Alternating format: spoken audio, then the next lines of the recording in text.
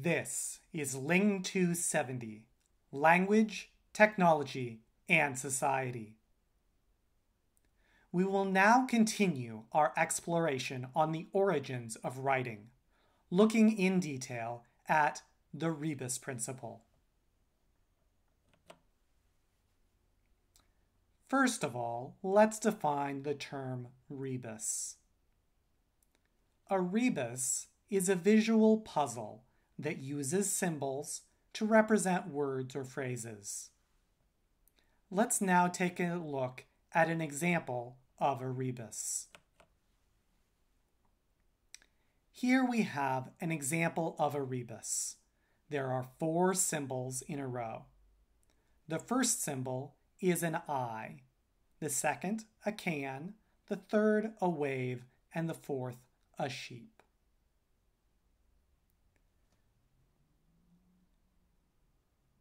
Let's look at what this means. In order to determine meaning, we are going to use the rebus principle. The rebus principle is the use of symbols to represent other words using the sounds that correspond to the pronunciation of the symbols. So, here is our example First, we have an eye, a body part. Next, we have a can of soup or vegetables, so that's a can. We will interpret the picture of a wave as being a representation of an ocean, or more specifically, a sea. And finally, the sheep is a female sheep and the specialized word for a female sheep in English is a ewe, E-W-E. So we have an eye, a can, a, a wave representing a sea, and a sheep representing a ewe. So I, the body part, sounds like I, the pronoun. Can, the noun representing the object, sounds like the English verb can. See, meaning a body of water, sounds like the English verb to see, as in to visualize, to visually recognize something. And finally, you, the word for a female sheep, sounds like the English pronoun you. Thus, using the rebus principle, we can decode the message. I can see you. This is an example where an entire sentence is represented using the rebus principle. Let's look at another example of the rebus principle in action. In this example, the rebus principle will be used by one person to convey a question, and then by the recipient to convey a response to the question. In the 18th century, the philosopher Voltaire visited the Prussian noble Frederick the Great. During this visit, Frederick presented a note to Voltaire containing the following message. This message has two fractions with a French word in between and a question mark at the end. The first fraction is the letter P in the numerator with two hands in the denominator. This could be interpreted as two hands under the letter P. The word after this initial fraction is the French word for at, an A with an accent mark. The next fraction has a saw, a tool, in the numerator, and the number 100 in the denominator. We could interpret this as 100 under a saw, or 100 under saw. And finally, we have a question mark. So, this is how we, as English speakers, might interpret this.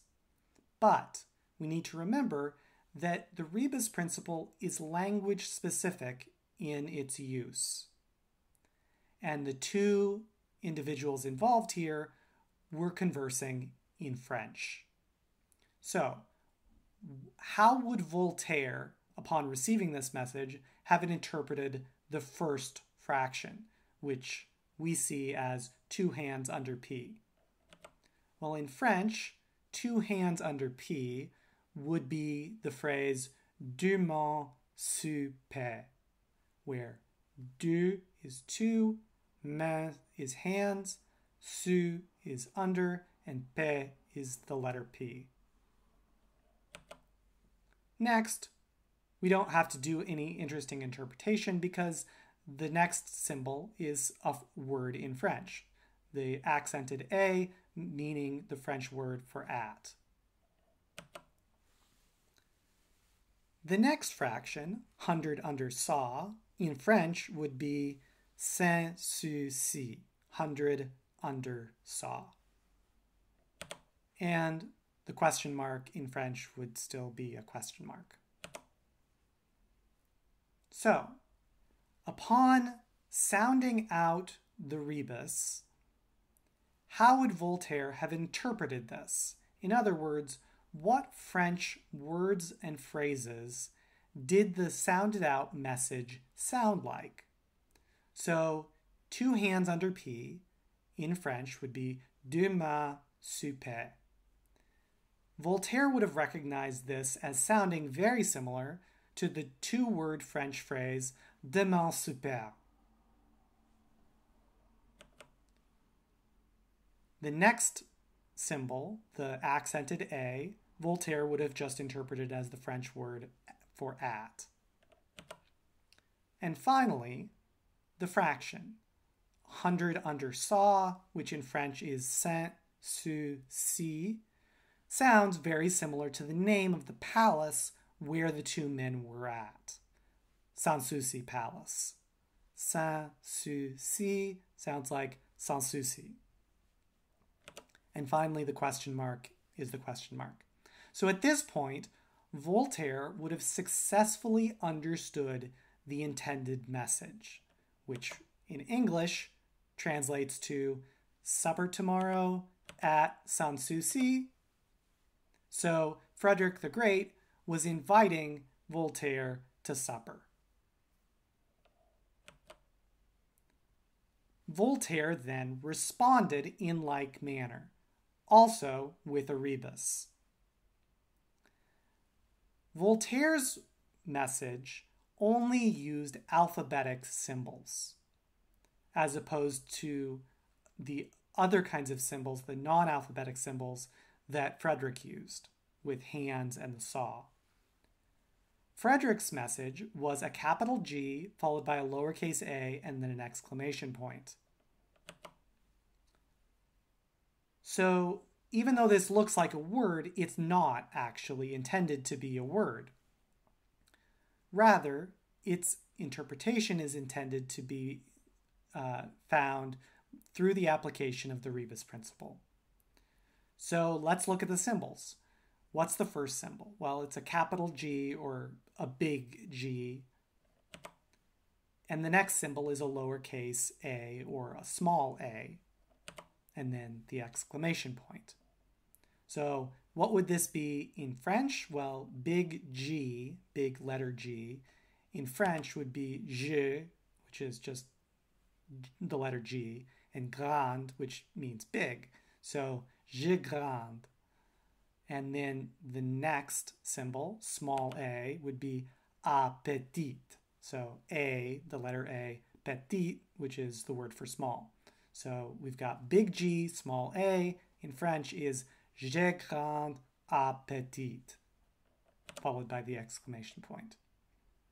So Frederick, getting this message, would have sounded this out and gotten j'ai grand appétit which he would have then recognized that je grand G grand, the big G, sounds like the two word French phrase je grand, and appétit sounds like the French word appétit,